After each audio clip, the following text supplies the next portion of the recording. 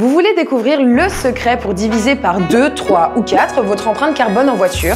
Nos experts ont mis au point la toute dernière technologie, éprouvée sur des centaines de kilomètres et adaptée à tout type de trajet. Je vous présente la voiture à 5 sièges dans laquelle vous pouvez transporter jusqu'à 4 passagers. Empreinte carbone réduite au maximum garantie. Eh oui, tu l'as compris, je parle de covoiturage, une solution intéressante quand on n'a pas d'alternative à la voiture. Certaines personnes en font même au quotidien. C'est le cas d'Elise. Elle habite en périphérie de Lyon et elle covoiture tous les jours pour se rendre à son travail à 40 km de là.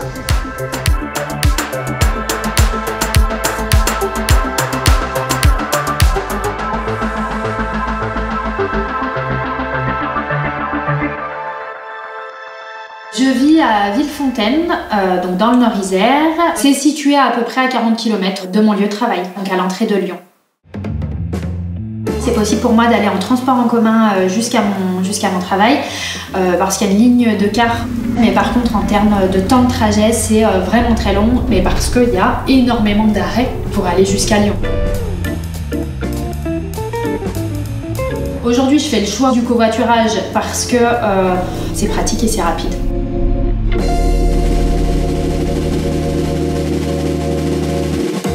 le déclic de voir les gens seuls en voiture a été quand même effectivement euh, déclencheur.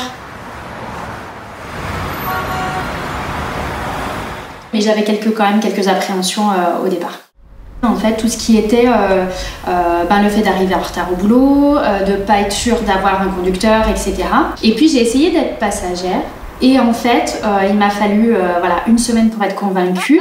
Ah oui, bon, ben non, alors je retire. Euh. En fait, l'application de covoiturage, c'est vraiment une ligne de covoiturage qui existe. Il y a différents arrêts. Une fois qu'on a l'arrêt, du coup, on est signalé par un panneau lumineux. Et là, on attend que le, conducteur arrive. Ça ressemble un peu à une ligne de bus, non? Depuis 2018, ce service de covoiturage sans réservation, Lane, dessert plusieurs communes, du Nord-Isère jusqu'à la métropole lyonnaise, en passant par l'autoroute A43. Il existe une cinquantaine de lignes de covoiturage comme celle-ci en France. Développées par une entreprise privée et portées par les collectivités, elles permettent de compléter l'offre de transport public dans les zones mal desservies.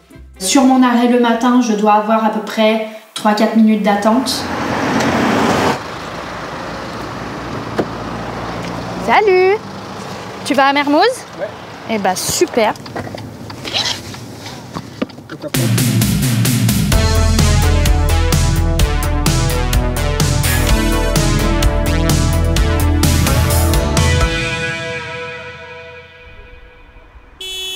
Quand je suis passagère, je ne paye rien parce que le service m'est offert. Donc ce ne sont pas les passagers qui rémunèrent les conducteurs et c'est vraiment au niveau du service de covoiturage qui verse de l'argent aux conducteurs et cet argent qui provient du coup des subventions euh, perçues par le, le service de covoiturage.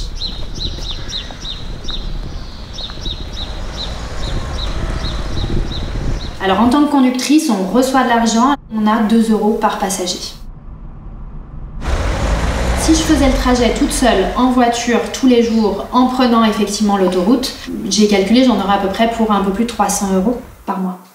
Donc aujourd'hui, très clairement, s'il n'y avait pas le service de covoiturage, je n'irais plus travailler à Lyon.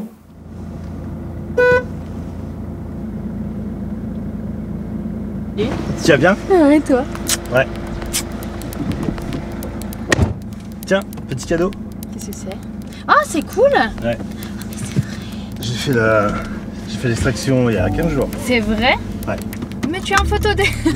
un afterwork. un afterwork euh, avec Lane. Ouais. Ah non, j'ai pas vu alors. Si, si, si, Jeudi Je crois que c'est dans le coin. Et t'y vas Attends, attends, attends. attends, attends. Pour moi, le gros avantage, mais ça, ça reste vraiment pour moi, c'est euh, le côté euh, sociable du service.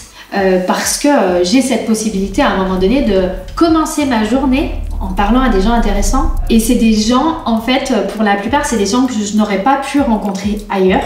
Et du coup, c'est des aventures différentes à chaque fois, en fait, à chaque trajet. Et effectivement, on devient, on, devient amis en dehors du service.